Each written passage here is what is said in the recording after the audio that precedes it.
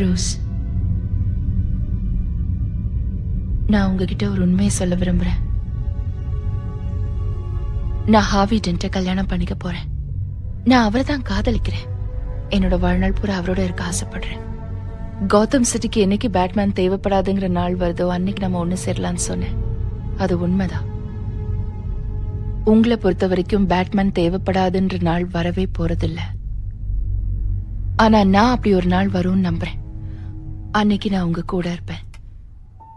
ஒரு நல்ல ஃப்ரெண்டா ஐ எம் சாரி ஹார்வி நான் ஏமாத்திட்டு தான் நினைச்சேன் என்ன மன்னிச்சிருங்க. என் மேல இருக்கிற நம்பிக்கை போயிடுச்சுனாலும் மக்கள் மேல நம்பிக்கை வைங்க.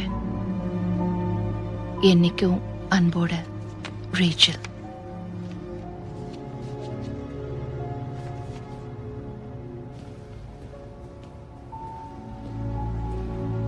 பிரேக்ஃபாஸ்ட் ரெடி பண்ணிட்டேன் சார்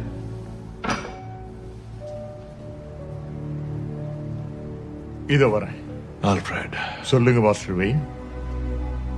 அவளுக்கு என்னாலதான் இப்படி ஆச்சுல்ல அவ இங்க தொட்டு அங்க தொட்டு கடைசியில ரேச்சலைய கொன்னுட்டான் நீங்க நல்லது தான் பண்ணிருக்கீங்க இந்த சிட்டில இருக்க கிரிமினல்ஸ மொத்தமா களை எடுத்திருக்கீங்க ஒரு கிராமத்தை காப்பாத்த ஒரு உயிரை பலி கொடுத்தா கூட தப்பு இல்லைன்னு சொல்லுவாங்கல்ல அந்த மாதிரி தான் இதுவும். அதுக்காக என் ரேச்சல் அவ இந்த சிட்டில குற்றங்கள் குறைஞ்சு அமைதி நிலவணும். அதுதான் அவளுடைய ஆசை. அதை நீங்க நிறைவேற்றணும். கௌதம் சிட்டிக்கு ஒரு உண்மையான ஹீரோ தேவை.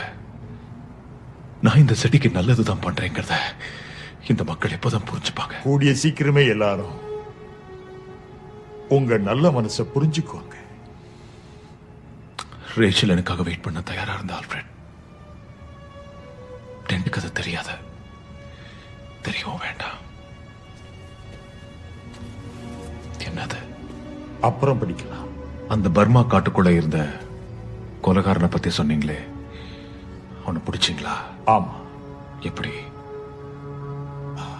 மொத்த காட்டையும் எரிச்சிட்டான்.